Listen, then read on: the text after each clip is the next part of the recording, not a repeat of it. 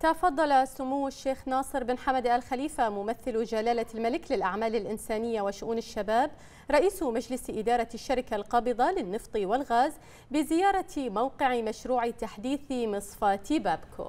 وخلال الزيارة قام سموه بجولة تفقدية لوحدات ومرافق هذا المشروع الوطني الجليل والذي من شأنه تحقيق منافع ومزايا اقتصادية عديدة للاقتصاد الوطني بمملكة البحرين فضلا عن تحقيق نقلة نوعية هائلة في قطاع الطاقة على مستوى المنطقة والعالم. وبهذه المناسبة أكد سمو الشيخ ناصر بن حمد الخليفة أن قطاع الطاقة في مملكة البحرين يحظى بكل الدعم والمساندة من لدن صاحب الجلالة الملك حمد بن عيسى الخليفة عاهل البلاد المفدى حفظه الله ورعاه. وصاحب السمو الملكي الأمير سلمان بن حمد الخليفة ولي العهد رئيس مجلس الوزراء حفظه الله ورعاه موضحا سموه أن هذا القطاع الحيوي يشهد تنفيذ العديد من المشاريع التطويرية الطموحة التي تدعم مسيرة الاقتصاد الوطني وتسهم في موازرة جهود التنمية المستدامة في مملكة البحرين.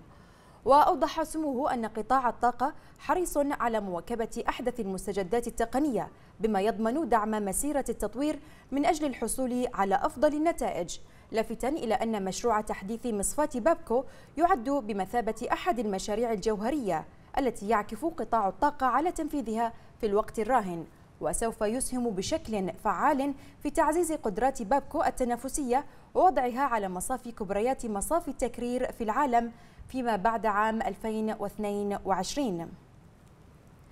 كما أوضح سموه أن هذا المشروع الجليل يتوافق مع مرئيات وتوجيهات القيادة الرشيدة حفظها الله في الاستعانة بأحدث التطويرات التقنية في قطاع الطاقة من أجل تصنيع منتجات نظيفة وذات قيمة مضافة وصديقة للبيئة مشيرا إلى أن مشروع تحديث مصفاة بابكو يمثل طفرة هائلة وعلامة فارقة في تاريخ بابكو ويتماشى مع الرؤية الاقتصادية الطموحة لمملكة البحرين لعام 2030 والتي ترتكز على قيم ومبادئ الاستدامة وتشجع الريادة والابتكار من أجل تعزيز القدرة التنافسية لمملكة البحرين في الاقتصاد العالمي وتحقيق الزيادة المنشودة في منظومة الإنتاج في ظل مناخ تنافسي يدفع عجلة التنمية الاقتصادية مع الالتزام المتواصل بتطبيق أفضل الممارسات في مضمار الصناعة والبحث الدائم عن أفضل سبل وأدوات الإنتاج إلى جانب تطوير الكوادر الوطنية في قطاع الطاقة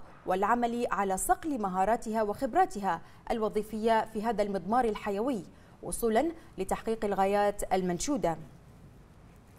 وأضاف سموه أن مشروع تحديث مصفاة بابكو يسعى في جوهره إلى الارتقاء بمنظومة العمل في هذا الصرح الاقتصادي العريق والانتقال به من مجرد وحدات وحدات تشغيل محدودة إلى مرفق عالمي حديث ومطور يهدف إلى تعزيز كفاءة الأداء وتوفير بدائل الطاقة المستدامة كما أنه يمثل ركنا أساسيا في مبادرة التحول التي تعكف شركة بابكو على تنفيذها في الوقت الراهن في إطار الرؤية المستقبلية الطموحة لتطوير قطاع الطاقة المستدامة وتحقيق الانتقال المنشود لمرحلة جديدة من التفاؤل المشرق.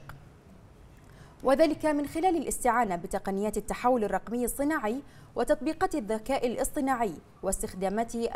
الثورة الصناعية الرابعة والحلول الذكية إلى جانب إرساء استراتيجيات واعدة لتفعيل نظام ديناميكي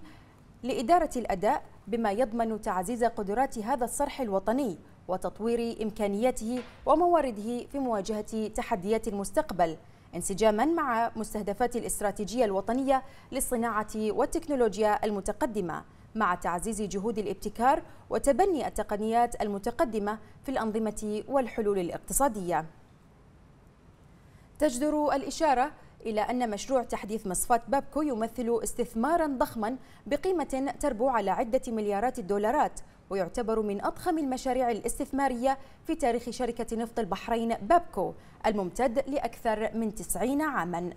هذا ووجه سمو الشيخ ناصر بتشجير المصفاة والطرق المحيطة للحفاظ على البيئة معربا سموه عن تطلعاته في دعم المشاريع الزراعية المخصصة للتشجير والسعي نحو استدامتها تحقيقا للأهداف البيئية التي تلتزم بها مملكة البحرين.